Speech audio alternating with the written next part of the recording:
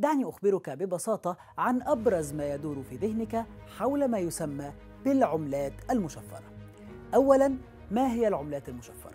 هي عملات لا ورقية ولا معدنية ولا مركزية لا تتحكم فيها دولة ولا بنك مركزي استخراج هذه العملة أو إنشائها يتم من خلال ما يسمى بالتعدين الإلكتروني وهو عبارة عن عمليات حسابية معقدة وخوارزميات صعبة جدا تنتجها العديد من أجهزة الكمبيوتر يتم التداول على هذه العملات من خلال منصات إلكترونية ولكن هذه المعاملات الإلكترونية كثيرا ما تتسم بالمخاطرة. فكيف تتم حماية هذه العملات وتتم حماية أموالي من خلال نظام تشفير يسمى بلوك تشين هذا النظام يصعب على المخترقين الدخول إليه وسرقة ما به من أموال أو معاملات.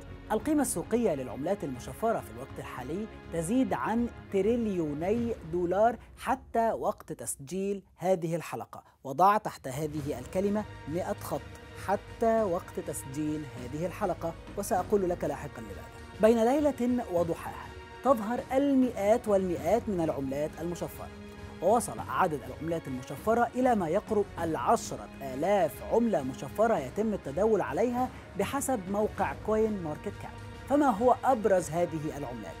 أولاً البيتكوين حيث يستحوذ على 40% من إجمالي القيم السوقية للعملات المشفرة ووصل سعره حتى تسجيل هذه الحلقة إلى 45 ألف دولار للعملة الواحدة ثانياً إيثيريوم يبلغ سعر هذه العملة 3500 دولار وتحتل المركز الثاني من حيث القيم السوقية. ثلاثة بايننس ووصل سعرها إلى 529 دولار. رابعا عملة كاردانو صاحبة المركز الرابع في القيم السوقية بالنسبة لسوق العملات المشفرة.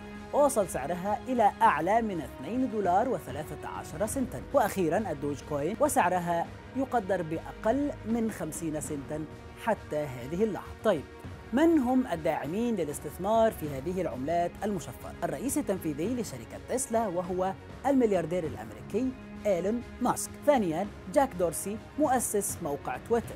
ليس الأفراد فحسب هم الذين يدعمون هذه العملات المشفرة والاستثمار فيها وإنما أيضا هناك بعض الشركات التي قررت التعامل من خلال عملة البيتكوين مثل ماستر كارد وباي بال. السؤال المهم الآن هل الاستثمار في هذه العملات آمن؟ بالعودة إلى الكلمة التي ذكرتها لك منذ قليل حتى هذه اللحظة هذه الكلمة تعني أن هناك تقلبات حادة وحادة جدا في سوق هذه العملات وربما مجرد تغريدة أو كلمة من أحد المؤثرين حول هذه العملات تحول مسار ممتلكاتك صعودا أو هبوطا. الحكومات بشكل عام يا صديقي حول العالم لم تعترف حتى الآن بالتعاملات بالعملات المشفرة بل إنها تحذر منها نظرا للتقلب في أسعارها وعدم معرفة توجهها ومن أين تأتي وأين تتوجه هذه المعاملات وهذه الأموال. هناك أيضا بعض التحذيرات فيما يتعلق بأن هناك معاملات مشبوهة تتم من خلال منصات تداول هذه العملات حيث تخضع منصة بايننس وهي الأكبر في تداول العملات المشفرة حول العالم حاليا تخضع للتحقيقات في وزارة العدل الأمريكية بتهمة الانخراط في أعمال مشبوهة وتمرير أموال بغرض الأعمال الإجرامية في عام 2019 تجاوزت ال 750 مليون دولار كما أنها متهمة أيضا بتهمة غسل الأموال. إذا بعد كل ما سمعته عن العملات المشفرة هل لديك استعداد للاستثمار في هذه المخاطرة؟ أم أنك تفضل الاستثمار الأكثر أمانا وربما الأقل ربحاً؟